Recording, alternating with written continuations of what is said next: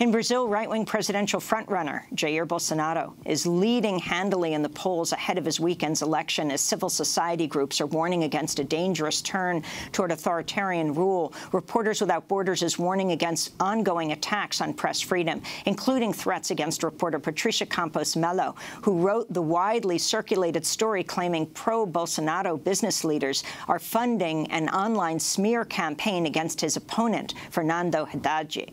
Meanwhile, video has surfaced of Jair Bolsonaro's son, Eduardo, threatening to shut down the Supreme Court if his father doesn't win the upcoming elections. And former Brazilian political prisoners are calling out Bolsonaro's frequent praise for Brazil's former military dictatorship and his defense of notorious torture chief Carlos Alberto Brilhante Ustra, who died without ever being tried for his crimes. This is former political prisoner Gilberto Natalini.